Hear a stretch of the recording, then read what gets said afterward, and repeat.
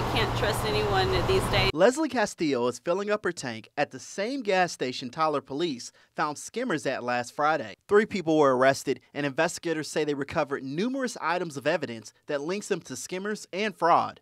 Castillo says she heard about the skimmers and uses a simple process to avoid them. Always go go inside, you know, just take those extra steps.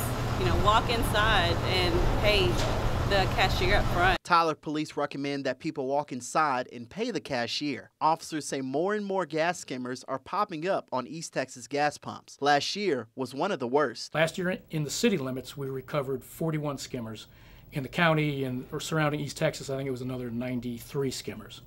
That's just what we recovered. Now we know we missed some others. Officer Adam Colby says so far this year they have recovered two skimmers. We've arrested so many people now, and we're getting so many heavy sentences that, for the most part, a lot of these crews don't want to come here anymore. Officer Colby says skimmers are becoming more sophisticated.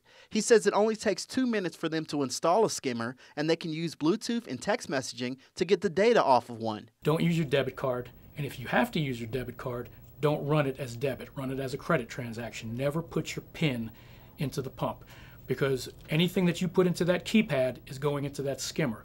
The bad guys are going to recognize that they've got a debit card with a PIN. So uh, instead of going to a retail store to start buying gift cards to launder the money, they're going to go straight to an ATM and they're going to empty out your bank account or they're going to keep on going until the bank shuts it off. For Castillo, she's personally seen the effect a skimmer can have on your bank account and will continue to take the extra step and pay inside. You don't want to have to lose that those, that money as everyone needs it right now.